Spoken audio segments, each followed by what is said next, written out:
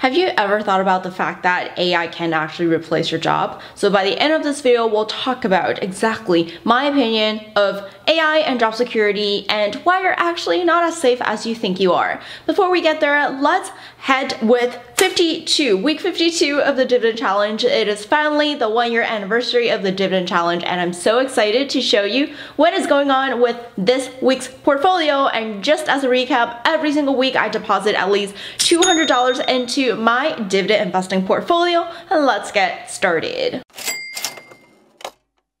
So first of all, let's start with the Webull portfolio and Webull portfolio shows that I'm currently at $1,335.64. When we look at what is in it, there is FFIN, 8 shares, these are all free, APLS, 1 share, all free, DEI, 9 shares, all free, and AVT, three shares all free. And if you're wondering how you can get free stocks, you can basically just go to my info box, click on that Webull link, and you can get free stocks by just depositing $100 into your Webull account. And you can always withdraw that amount if you want to. If you don't want to use Webull anymore, that's completely fine.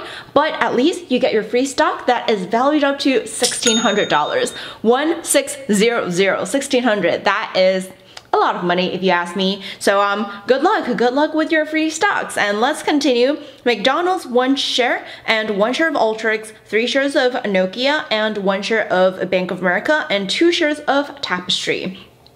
Now that we've taken a look at these, let's also take a look at my paper trading. So my paper trading portfolio currently has 1.3 mil and I'm up by 34.76% and the biggest leading indicator or the leading factor is definitely Tesla which is up by 197.2% and after the stock split again Tesla just has been pretty crazy. And I kind of wish this is like my actual like you know Tesla share. But I mean I, I, do have some Tesla and you'll see in just a bit. And um, a good thing about Webull is that it does have paper trading. So if you're not yet familiar with using your own money to invest, definitely open up a Webull account and you know get your free stocks by depositing $100 and just play around with the free stock and also play around with the paper trading because this allows you to get a sense of how stock market investing works and how the market moves and what do these different uh, different order types mean, buying and selling and closing and quotes, what do they all mean? How do you set up limit orders? These are all things that you can learn with paper trading. And now that we've looked at what Webull portfolio, what my Webull portfolio is doing, let's take a look at the M1 Finance portfolio. So this is my M1 Finance portfolio. Currently, I am up by 24.39%, up by $5,591.42. And you can see over here, my M1 Finance portfolio is currently at 31,400 $172.05 and this is also another improvement from last week. Let's tap into it to see what is up with Cherry's passive income. So for tech, you can see that I'm up by 151 0.11%, I'm up by $5,700 and you can see I'm almost at 10k with just tech. And um, there's also real estate and so for real estate it's actually also up which is also different from last week because I was actually down with real estate last week. Hide my losses. So realty income is down, NRZ is down, STORE Capital is down and you can see so far only my NRZ and LTC and SPG are down. And SPG is all about malls, so it's really normal that this one is down. And uh, let's tap into the tech since um, tech has been pre-booming. So you can see Tesla is up by 268.71%, up by 4,000 bucks. Apple is also up by 89.26%. Microsoft is also up by 52.59%, and Amazon up by 98.95%, and Google up by 39. 9.18%, Visa up by 29.26%, and Alteryx also made a bounce back from last week. And let's take a look at another slice. Let's take a look at finance. So finance sector, I have JP Morgan Chase, I have Main Street Capital, I have Bank of America, Aflac, T. Rowe, and Wells Fargo. And so far, Wells Fargo is the only one that is down, and which I'm not like overly worried about this because this is just a small small percentage of my overall portfolio and the cost is only around $283 so it's a small percentage compared to the rest of my portfolio. And the good thing about using M1 Finance is that you get to do automatic investing, automatic dividend reinvesting, automatic allocation according to all these different percentage that you preset. And you can see right now I have cash of 41 cents which is probably for my dividend. And once this reaches the threshold it will automatically reinvest this money back into my portfolio. And so the more money you have in your portfolio the faster you will be able to reinvest that money because you will collect more dividend and the accumulation of the dividend income you collect will automatically be invested. And in addition to that with M1 Finance you also get to do automatic deposits.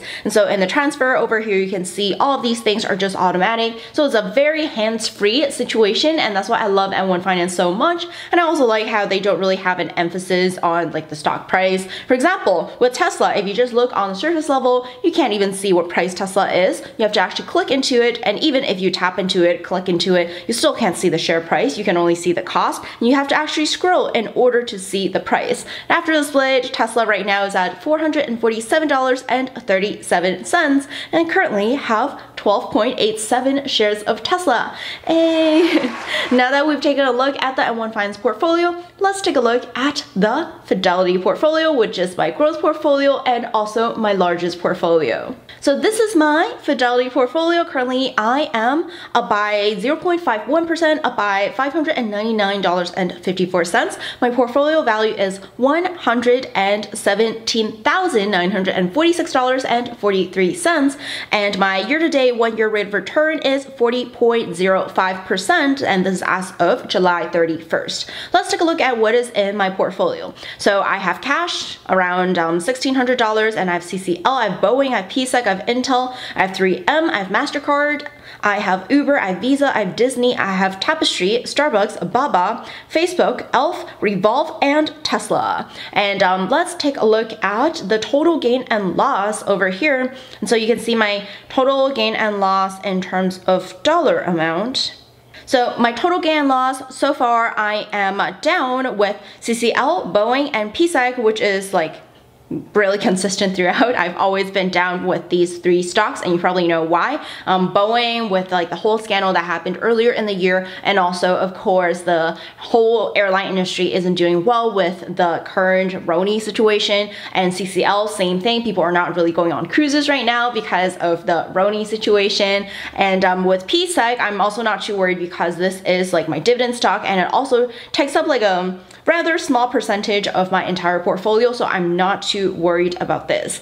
And um, let's also look at the best performing one. So Tesla definitely, it's up by 10K, um, 10,000 and $708.68 and it's up by almost 400% which is just unreal. And I actually sold some Tesla earlier so if I did not sell those you know Tesla shares this would be even greater. And there's also Revolve up by almost 80% and Elf up by 73% and Facebook up by 73% and Alibaba up by 60% so these are just some of my best performing stocks. But just because you know percentage wise you're you know performing really well it does not necessarily mean the dollar amount is the greatest gains. And so when we order by dollar amount, you can see it's Facebook, Tesla, Baba, MasterCard, and Disney, and um, Visa. So you can see all these stocks is because I bought a lot of them. So that's why they have been giving me like a lot of like dollar amount return. And um, this is also consistent with my overall allocation. I also tend to have like more of these stocks like Facebook, Baba, MasterCard, Disney, and um, CCL relatively more because I did buy a lot of CCL before the Roni situation. And so that is it for my Fidelity portfolio. And I just want to say overall, I'm really satisfied with what is going on, especially I want to be honest, like nowadays, I don't look at the stock market every single day. And also I just don't see a lot of buying opportunities because everything's pretty expensive right now. So I don't really, you know, check up on my portfolio every single day and it's kind of just running in the background, doing its own thing very passively, just upgrading my net worth, which is, you know, what I want to do. I don't really see myself doing day trading or looking at the market every single day. I'm satisfied with, you know, something that sits in the background, like literally does not take me any extra work, at least right now. And in the beginning, I have mentioned that we're going to discuss topic of the week is AI and job security. And I want to say this topic is not just about AI, but also just overall how nine to five employees tend to have this false sense of security, thinking that, you know, their 9 to 5 paycheck is so stable, so secure, they should, you know, think that they will have this job forever and have this job title and have this salary forever and have this pay forever. But if there's anything that this pandemic has taught us is that, you know, all these like, you know, stable things and secure things are not really that stable, especially like being in LA, I witnessed the downfall of a lot of um, companies in the entertainment industry and it's really unprecedented and it's also very um, shocking. A lot of people did not see this coming. There were major layoffs in a lot of major companies and um, it's really important for us to be able to anticipate these changes and just have emergency income stream. A lot of people, they say emergency fund, but in my opinion, emergency fund is not enough. You also need emergency income stream that is separate from your day job. So a lot of people, they only rely on one stream of income, which is good in theory, but then because the nature of the job is is you can't really be sure whether you'll continue being employed, continue being paid the same amount, um, continue working the same hours. You can't really guarantee that then you are kind of not in control of your own finances as a result. So what happens when you get a pay cut? What happens when you get fired? All of these things you have to consider and it might be, you know, um, not as a parent when you still have the stability of a job when you're still employed right now, but it's the same thing as having an emergency fund when you are not experiencing an emergency, you might think, oh, this is kind of extra. Do I really have to do this? This is so much, you know, extra work or extra things to prepare for. When you're actually facing an emergency, this all makes sense. You're like, oh my gosh, thank God I have this set in place. Thank God I have this emergency fund. Thank God I don't have to dip into, you know, my uh, 401k and retirement accounts and I don't have to pay a penalty because I have this emergency fund. Same thing with income streams. And um, back to the topic of AI and job security, I really do think AI is really being underestimated right now. And this is also the common rhetoric between a lot of great leaders and uh, entrepreneurs and engineers. And I still remember just listening to a speech by Elon Musk and he was just talking about his viewpoint when it comes to AI and he said a lot of people are just really underestimating the speed of innovation, um, technological innovation, especially when it comes to artificial intelligence. And he says artificial intelligence definitely has a chance or maybe it is already surpassing the entire like human race intelligence combined together. So it's like really really powerful and he also gave us a little um, a couple illustrations of how AI can learn new games in a matter of seconds. And so this is definitely something that we have been underestimating. And now we're just talking about games. How about jobs? Like job security. There are many things that can be automated especially when it comes to entry level jobs. So when we're talking about like data entry when we're talking about even entry level finance roles or account accounting roles. All of these things, in my opinion, have a huge potential of being replaced by artificial intelligence. And I deeply believe that the only reason why it's not really happening right now is because people up there are kind of, you know, stopping this from happening because there will be a detrimental effect on people's like employment rate, um, on the whole entire economy and the society, and also people's fulfillment. So there are a couple things that come into play, right? When AI replaces jobs, of course, more people will become unemployed and um, the cost of goods will also go down because as less human labor is involved, the cost of goods and services will also go down. Normally, the cost is really high when it's like human labor intensive or requires an actual human being there, and the more support you have from an actual human being, usually the higher the prices are. If you're able to, you know, replace some of these aspects with robots, then usually the cost can go down. But not just that, also one thing that a lot of people, they tend to ignore is fulfillment fulfillment. A lot of us, we actually derive a lot of fulfillment from our 9 to 5s, from our job title. And I still remember when I was working my very first job as a Big Four auditor, I derived a lot of my, you know, own self-worth and just my self-esteem and also my identity from my 9 to 5 job. And I still remember when I introduced myself, right? When you introduce yourself, it's always like, hey Tom, I'm Cherry and I'm a Big Four auditor. Like people always tend to describe themselves and introduce themselves as their job title. And people also derived a lot of value and a lot of fulfillment from their job. And so what happens when that is taken away? And I know, you know, sometimes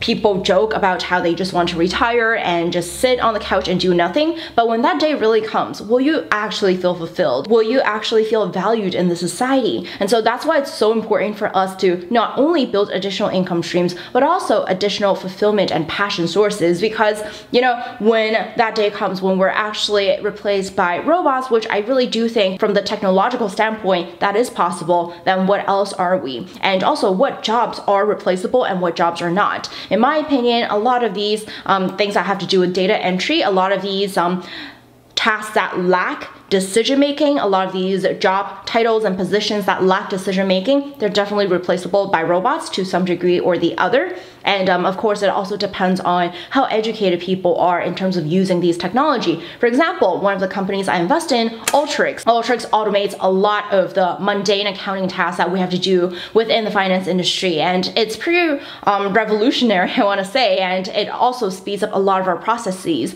And if we continue to implement all these different softwares and also automation and even put AI in the picture, then what is going to happen to our entry level jobs? These are all things that we have to think about. And um, of course, the human element is also important in very specific industries and tasks. For example, in my opinion, when it comes to art form, I really do think the human element is very required because when we want to feel something, when, when we want to enjoy art, it's a sensation, it's a feeling, it's a connection. And so I really do think it's hard for robots to completely replace that, that feeling of human connection. Another thing is something that requires someone on the other side, for example, coaching. And um, just as a plug, I do have a free training that you can attend in the info box. So definitely click on that if you're interested in the coaching industry. But just talking about the coaching industry, um, the reason why I'm so passionate about it, especially in 2020, is because I have seen what effect the RONI situation has done to us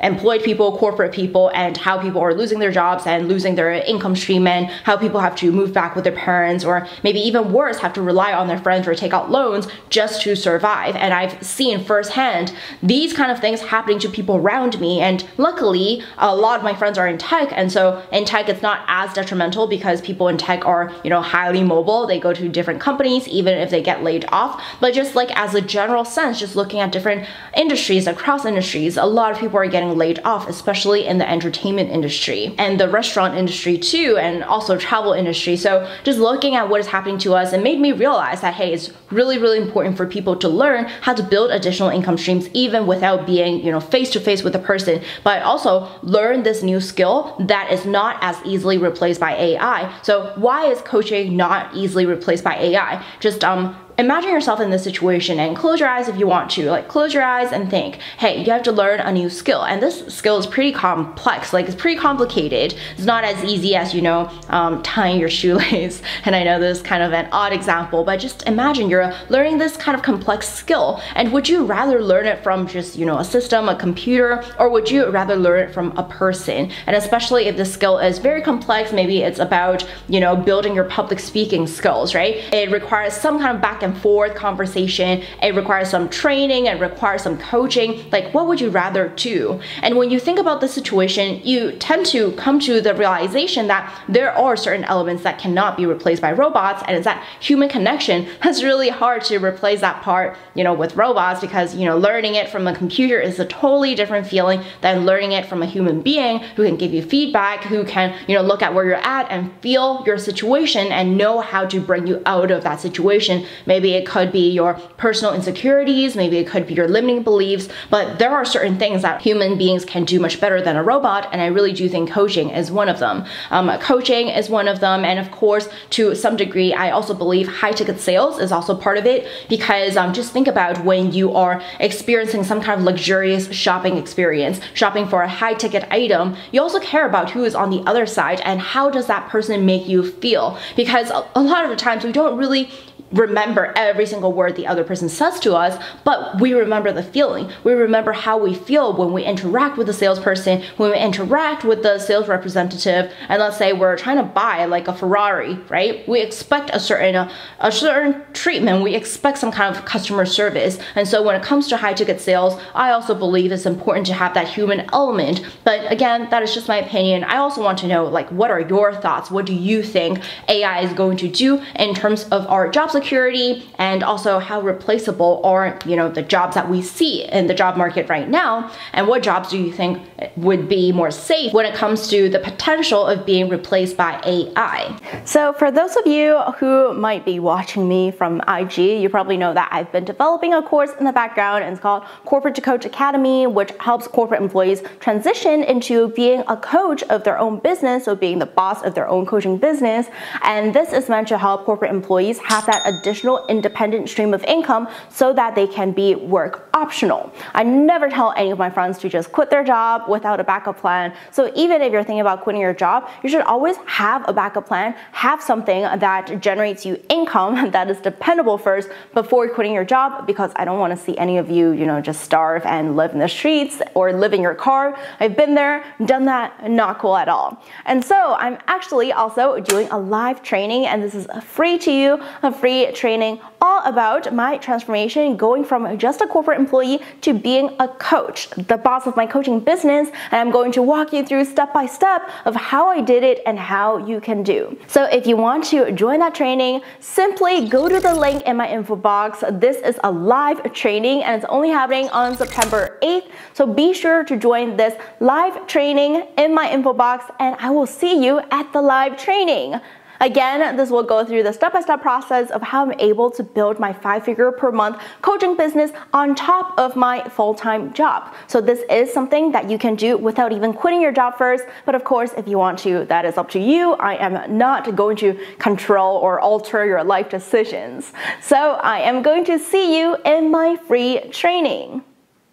And now that we have discussed the potential problems that comes with AI and um, how AI can replace our jobs, let's also talk about potential solutions. So some potential solutions could be universal basic income that just ensures that people can still survive and live even without a job. And another, another like more preventative solution is just to have people develop more skills, more areas of fulfillment, more passion outside of their nine to five because again, a nine to five is not guaranteed. You can, you know, guarantee that you are employed at the same company forever. That is just not the nature of having a job. So it's also important for you to be able to have different interests, diverse interests on top of your nine to five, alongside with your nine to five, or even just like alternatives that you can go to even if you were to feel burnt out or overworked or underpaid at your nine to five, you still have a lot of choices and exit routes and honestly, I feel like in life, having the freedom to choose is really important. A lot of people, they don't really have the freedom to choose. A lot of people, they're just tied to a job that they hate and they stay there for 30, 40, 50, even 60 years because,